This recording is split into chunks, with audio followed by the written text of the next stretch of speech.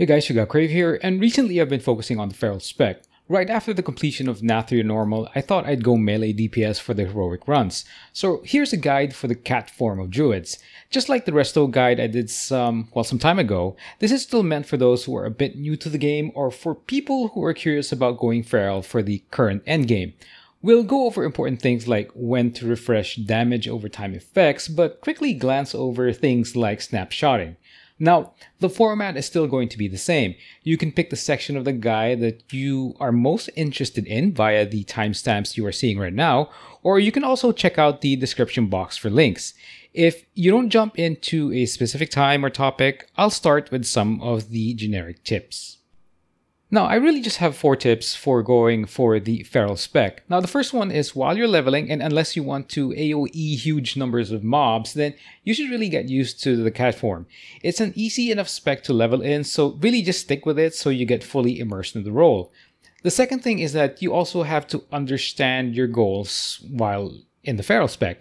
I mean, as with the resto spec guide, it's fine to pick whichever covenant you want or whichever secondary stat priorities after intellect. If you are all about min-maxing, then your covenant choice and secondary stats will matter.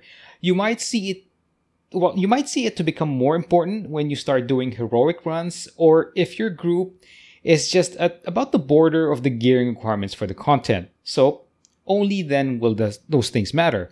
The third thing is that your damage numbers will vary greatly. While Ferocious Bite, one of your abilities, is a very, very significant portion of your overall damage in single target rotations, cats are still in part bleed specs. Plus, there is a 5 point requirement to get the most out of Ferocious Bite. So, there is some ramp up time involved for the portion of your damage. So, this really isn't a tip, but more of a reminder of how you should put out damage or what your damage is like. And the fourth general tip is that in terms of mechanics, and I think as with any other spec or any other role, knowledge of fights is really important. Raid leads don't just say know the fights for shallow reasons. Now, being a melee spec, knowing the mechanics to a certain extent helps your positioning. After all, you lack the flexibility of a range damage dealer. Let's keep it simple for stat priority. If you're not after high level content or the pacing of your runs is relaxed, just look for items that give you more agility. And with this gearing goal, it's very straightforward. Just look for the items or the gear with the higher item level. Now, if it becomes important, the secondary stat to push is crit, which is based on recommendations by many druids I've encountered in the game, my own sim, and because I do like that the Primal Fury passive you have works like the Seal Fate passive uh, from Assassination Rogues, which grants additional combo points when you crit with a combo building ability.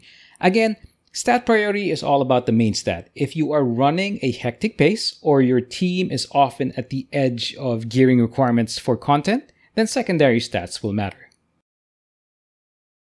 For talents, let's quickly go over the options you have. Now, for row number one, it's really just a toss up between Sabertooth and Predator.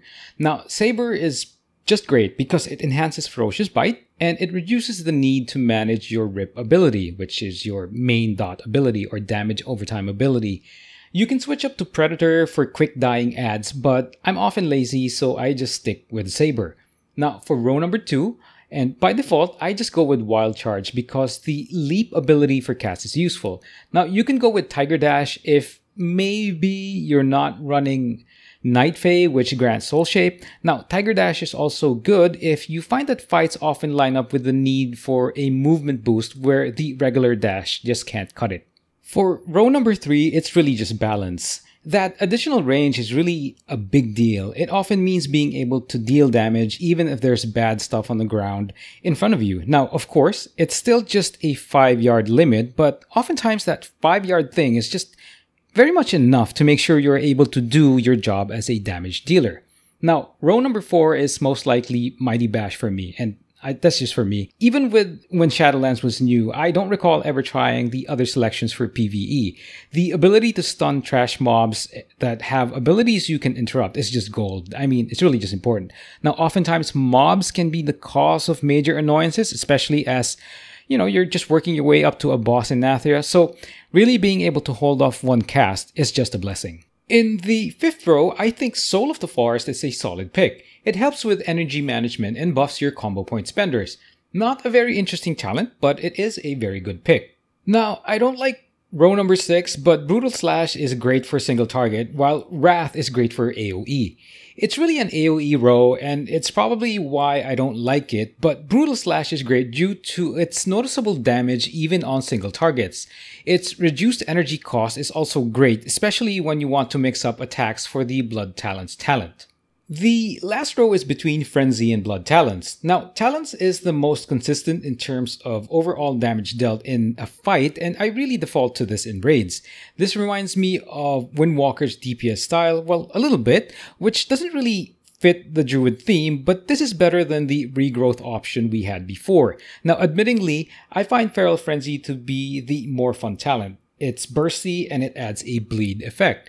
Now, also as I mentioned much, much earlier, snapshotting is a mechanic that we'll glance over. So what this basically means is that your rip is buffed by Bloodtalons, and this means that you make sure that you let it last as long as possible, this damage over time ability, before you refresh it. If it becomes too complicated to track, just try to let the buffed ripped ability stay for as long as possible, or follow the refresh time limit that we'll be discussing later in the abilities section.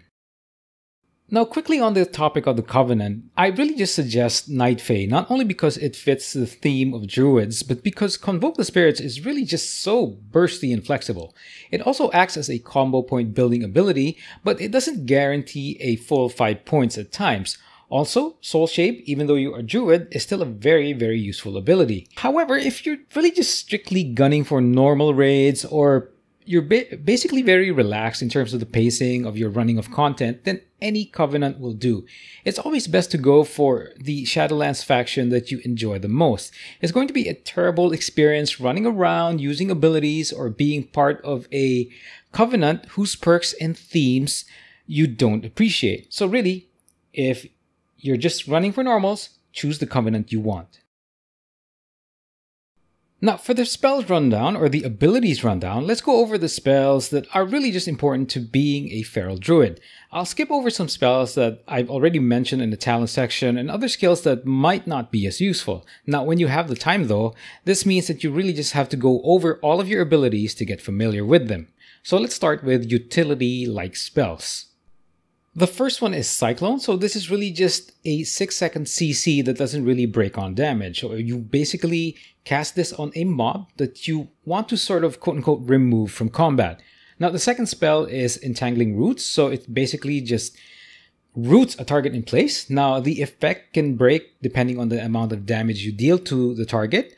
Now Hibernate is a third utility spell that is basically just a sleep effect on a beast or dragonkin creature. Now one point of damage just breaks the effect. The fourth one is Rebirth. Now, this is basically just a battle rest spell or a battle resurrection spell.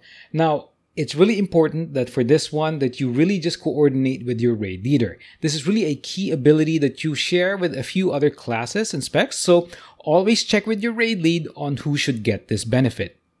Now I'm adding regrowth here in the utility section, even though you normally will heal yourself so that uh, your healer doesn't have to worry about you so much. But one thing you can do for regrowth, especially when it's an instant cast, is that you cast it on someone else to basically just help out fellow healers. I mean, other healers. Now, remove corruption is basically a simple spell. It removes any curse or poison effects. So if you're asked to remove an effect like that, you do so. Next is Skull Bash. Now, this is really just important because it is an interrupt to mobs or spells that you can interrupt. And one benefit to Skull Bash is that you don't have to be in melee range. Uh, you will automatically charge the target, provided you're not too far off, and stun the target. Another ability is Soothe. Now, this basically just removes any enrage effects. Now, this is one ability that can sometimes make things a whole lot easier. Casting this, for example, on the Enraged Gorgons in Halls of Atonement can make life easier for your tank if the Enrage mechanic triggers. Stampeding Roar is really just a very, very useful utility spell. It basically just makes sure that everyone moves faster so you can get out of the bad. Uh, this spell helps with that, or you can reach your targets faster. Uh, this also this spell also helps with that. Now, Typhoon is basically just a knockback spell, so they also daze targets that can be dazed for about 6 seconds. We're now moving on to the damage abilities or damage skills section, which is really just the meat of what you're supposed to be doing in raids. So the first ability is called Ferocious Bite, and I mentioned this earlier. This is your main non-damage over time ability. So if you use meters to track your damage output, you'll find that this is always the top damage skill. Rake, Shred, and Brutal Slash build up to dish out this damage skill.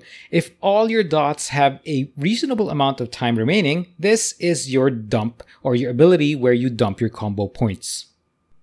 Rake is your combo builder ability and is basically your opener from stealth when you start a fight.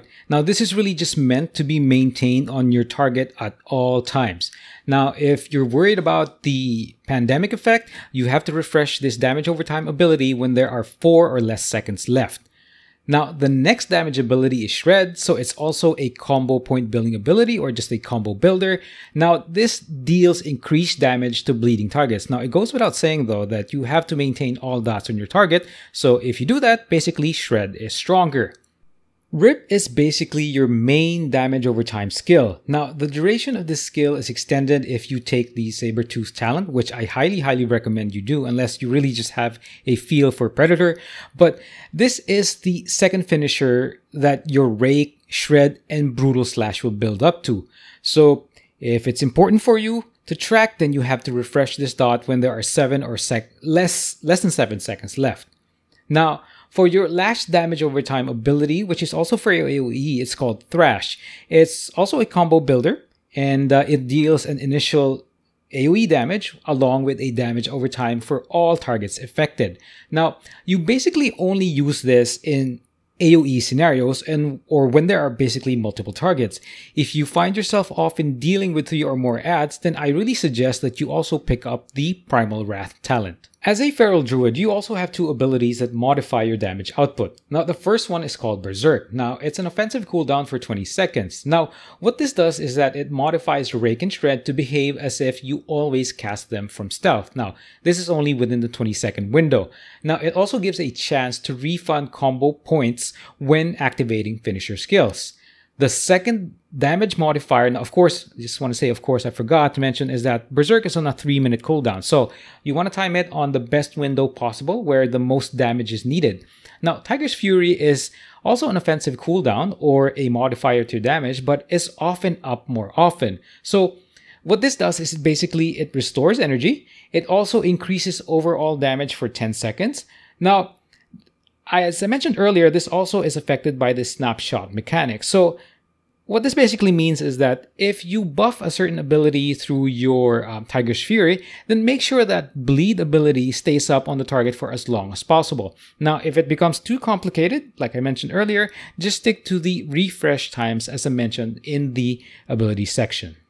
Now, as a feral druid, you also have some abilities that help you to survive. So the first one is called Barkskin. Now, it really just reduces damage for 8 seconds, so it's not a strong damage reduction ability, but it is still useful, and it can be used while a crowd control effect is on your druid.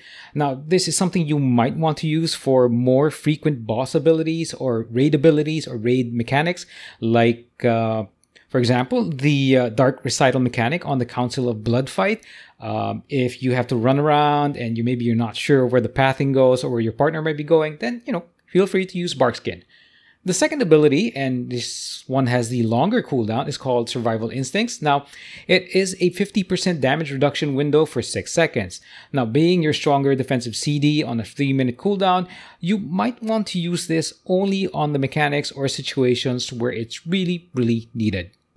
And for the last section of this guide, it's really just about add-ons and macros. Now, in terms of the add-ons, um, the mainstay is really just ElvUI. It's the main UI replacement I have for World of Warcraft. I don't ever recall using the standard UI for WoW. I just can't stand it. So it is ELV UI. Now, in terms of meters that I use for healing or damage dealing, I use details right now. It's my mainstay meter and it's really just useful. It's full of information that helps me to learn what I'm doing.